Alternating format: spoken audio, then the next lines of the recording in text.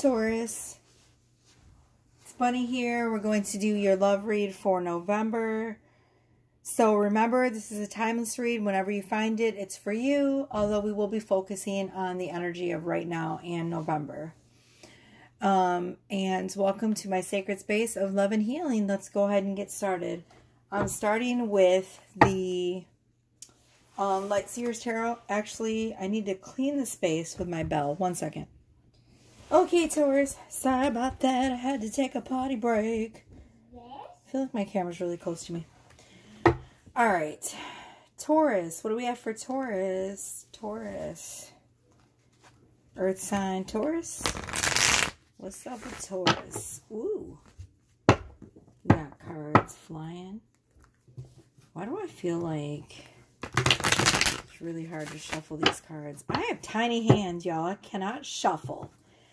I swear I cannot shuffle. I cannot shuffle. Okay, we're going to keep this reading short, too. short and sweet. And keeping them all under 20 minutes. Taurus. I got one of my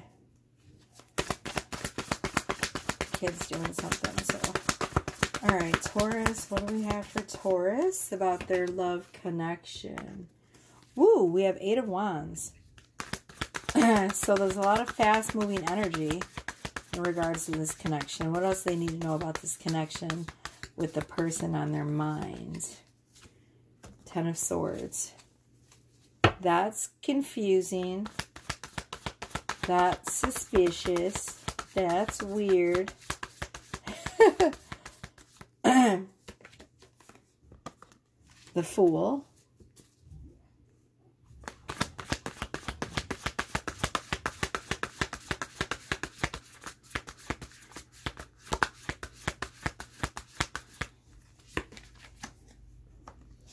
Whoa, okay, there's a whole lot of confusing energy here.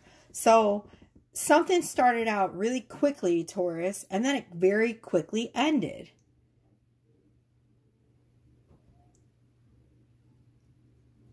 That's very strange. So, you're looking for a fresh start, and you know, you have, I feel like with the Eight of Cups, you have let go of this energy, right? You're starting to see the light at the end of the tunnel. There's the sun. So you're looking towards brighter days, right? And you let go of a connection.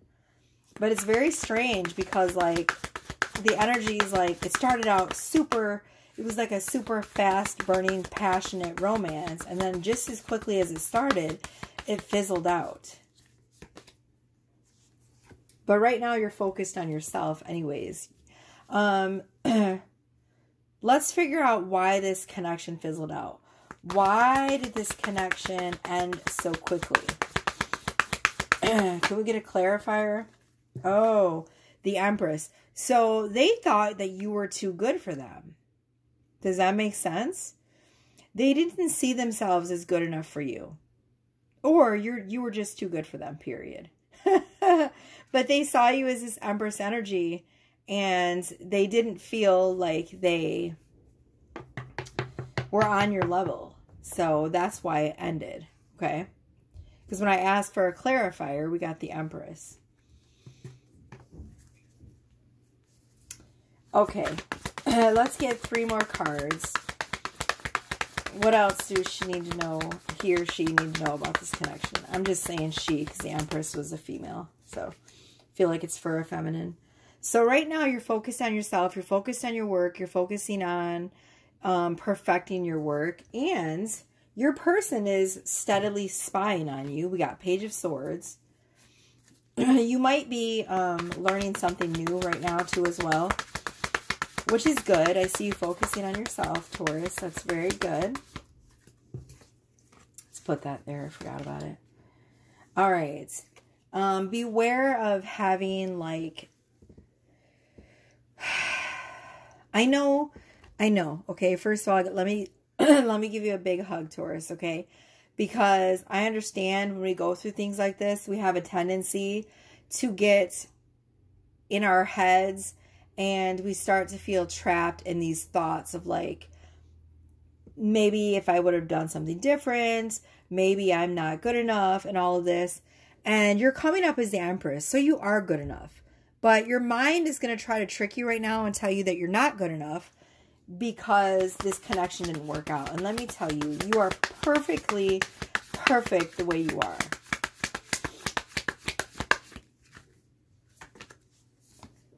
And you have death and rebirth. So this transformation is much needed, Taurus. You had to go through this lesson, as gut-wrenching as it feels. And what is the outcome of this situation after the death and rebirth?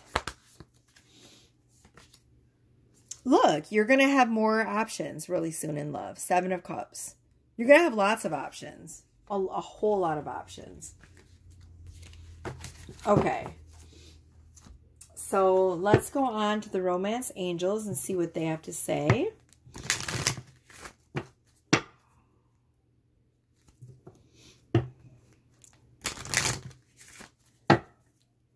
One door closes, another one's going to open up for you, Taurus.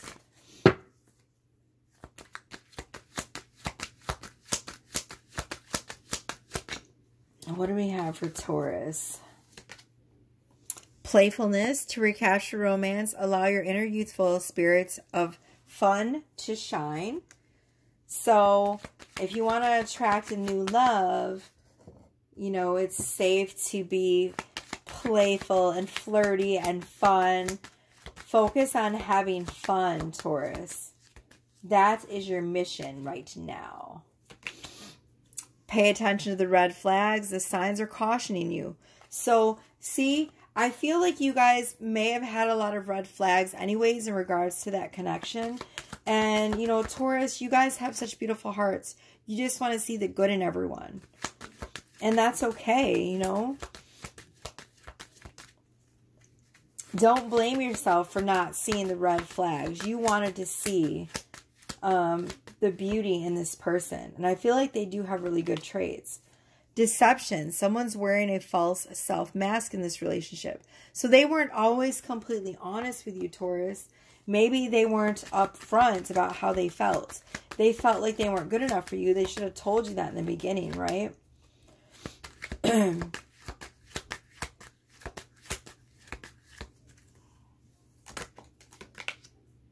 Passion. Allow your heart to heart and soul to sing with joy. So this person still has a lot of feelings for you. All right. It says passion. Um, you know what? I am going to pull one card to see um, how this person feels about you right now. How does this person feel about Taurus right now? How are they feeling about Taurus since the relationship ended?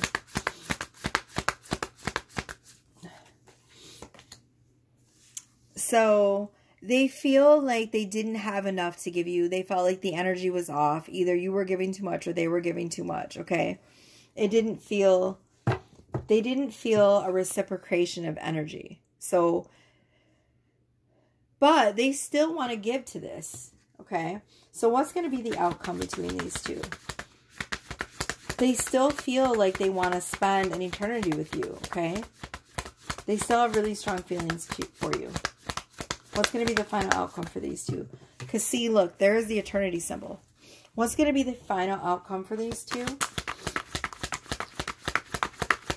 But we're going to get a clarifier and see if they're going to reach out, Taurus. What's going to be the final outcome for these two? Oh, look, they are going to come back around. We got the lovers. So they're going to come back around, Taurus they're working on healing themselves because like I said, they didn't feel like they were good enough for you, but they do feel like they're that you are their forever person. They want to spend eternity with you. They want to put more energy into this. And they have a lot of passion for you, like I said. I'm glad I pulled another card on that because I felt like they still have really deep feelings for you. And I was right. They're going to come back around, Taurus. Okay, what else does Taurus need to know about this beautiful connection? What else does Taurus need to know? We're going to do three cards from this deck.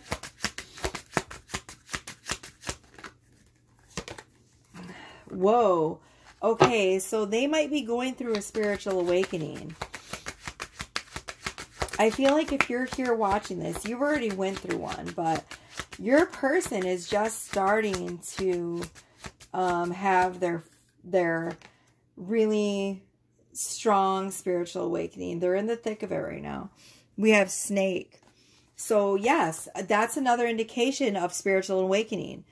You know, they might be going through like the kundalini process, which is, you know, the, uh, it's another term for a spiritual awakening. Except for, you know, kundalini has to do with like the way our chakras flow, right? There also could be someone that's trying to influence your person away from you. I just got that as well. So keep that in mind, Taurus. Try to protect your connection. There it is. Reconciliation. I just said that. Didn't I say they were going to come back around? You can't make it up, Taurus. See, I'm I'm on top of it. I know I can read this energy like the back of my hand. Let's get one more card. What else can we know about this connection? Thank you for allowing me to be the clear channel for source messages. See, there's the breakup energy, but they're coming back around. Okay. They also maybe just went through a breakup and maybe that's why they're like be, I'm talking about before they were in a relationship with you. They had a really bad breakup. Possibly it feels like that sort of nicked their self-esteem and that's why they don't feel good enough for you. They're just going in a, on a a really dark night of the soul trying to discover um, how to heal from you, right?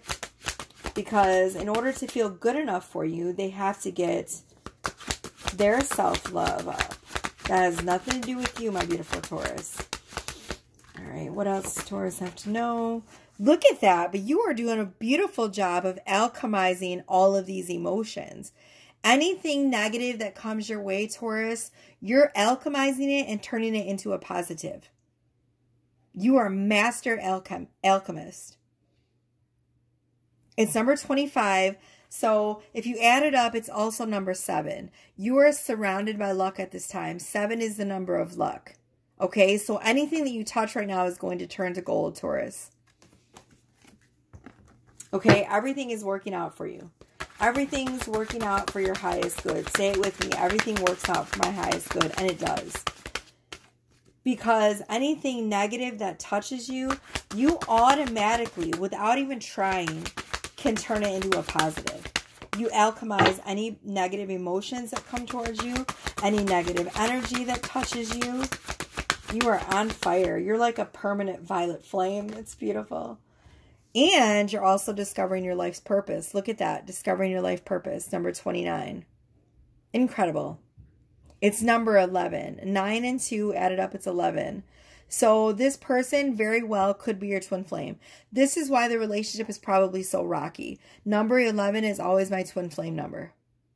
And if you look, there's a, a male and a female. Your person might play music as well or have something to do with music because the violin keeps standing out. This to me represents perfect harmony. If you look behind here, there's a female and it's a ghost. So this tells me that there's outside forces trying to sabotage your union, right? So make sure that you are, you know, protecting your energy Which I feel like you already do that anyways because you alchemize any negativity that heads your way. Right? Okay. Um, what else do we have? We're going to pull an Akashic Record card for this connection, and then we're going to be done. So I hope something in this reading resonated. If it did, please like and subscribe. It's completely free to you. Share with all your other Taurus friends so they can enjoy my beautiful reads. And if you want to book a reading with me, just click on the description box below my video. It's got all the information. What is the last card you have for Taurus in regards to this connection, please, Spirit? Health and healing, number 17. So, um, eight is the number of cycles. Um, eight is also the number of abundance. So it feels like right now you are doing some really great healing. If you've been sick recently, Taurus, this shows me that your health is on the up and up. So some of you are really um, changing your diets. You're putting more healthy foods into your body, which is really good because if you are in a twin flame connection, the healthier you eat, the more you'll be able to have a stronger connection with your person because the clearer your channel is, the more clear you'll be able to exchange energy with your person, if that makes sense. My whole twin flame connection and the journey went into overdrive the minute that I decided to eat more raw foods and became a complete vegetarian. Like I was at this point where I was kind of a vegetarian, but kind of not. And then I was still eating fish and all this stuff. And now I'm just completely vegetarian and don't eat any meat. And so, like, this, my whole journeys went into overdrive. But it feels like a lot of you are instinctively doing this. Um, you're taking in more natural foods, more whole foods. And if it's not in regards to like your nutrition and how you're eating, then you're you're you're changing the way that you heal. You're doing conscious healing, like getting into Reiki or, you know, meditation, um, energy healing, things like that. Okay. And I I also heard angelic healing. So very good. Um, and the way that this thing is, um, this, oh, I forgot what they're called. I'm trying to get the last message out. You're going to go through a period right now when you're healing and cleansing your system that it's going to it's going to create a lot of abundance for you. Eight is the number of abundance. So it's going to really help you to manifest faster and things are going to come in faster. Um, this thing right here, oh my gosh, I cannot think of what it's called. Mortar and pedestal. Mortar and pest, mor mortar and pestle, right? Pedestal. Well, some of you might be, your person might be putting you on a pedestal. That's why they feel not good enough for you. But anyways, um, mortar and pestle. So this gives me the feeling too that some of you might be dabbling into witchcraft or you could be a witch. So that'll be another indication that this reading is for you, right? Okay, so I hope something resonated. Um, that's all I got for you, Taurus. I hope this helped. So your person that you guys might be going on a break right now, but they're going to come back around because, like I said, this feels very twin flamey. Either way, you have a very strong spiritual connection with this person and they can't shake you and you can't shake them. All right, love you, Taurus. Bye.